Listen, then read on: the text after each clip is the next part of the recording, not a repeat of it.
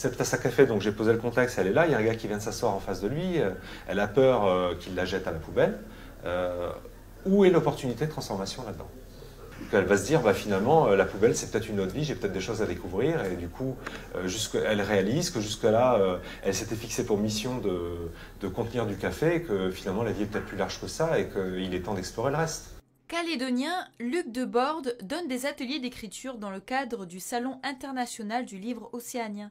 Cet homme aux multiples talents est passé progressivement de l'informatique au journalisme jusqu'à se lancer dans l'écriture. Il devient donc rédacteur en chef du Tazar pendant trois ans avant de fonder les éditions Humanis et accompagner les écrivains.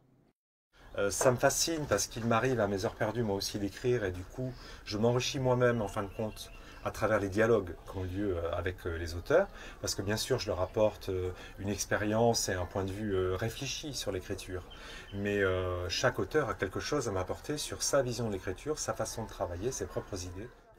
Alors qu'est-ce que vous attendez du silo? Des rencontres.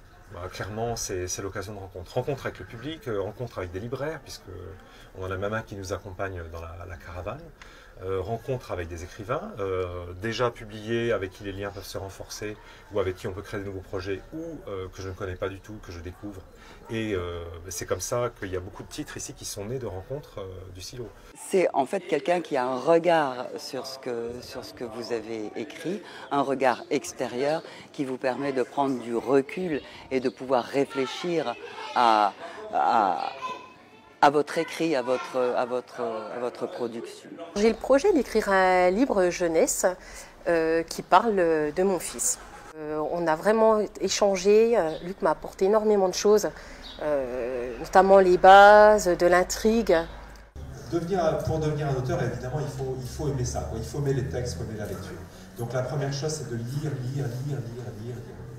Pour moi, votre devoir, c'est de faire le lien entre la culture orale dont vous êtes encore porteur, parce que vous êtes encore en plein dedans, et la culture écrite vers laquelle, d'une manière ou d'une autre, on va aller. Depuis, Luc a aussi écrit des livres comme Les douze sentiers vers le bonheur, L'île maudite ou plus récemment la rédaction des micro-fictions calédoniennes avec quatre auteurs calédoniens.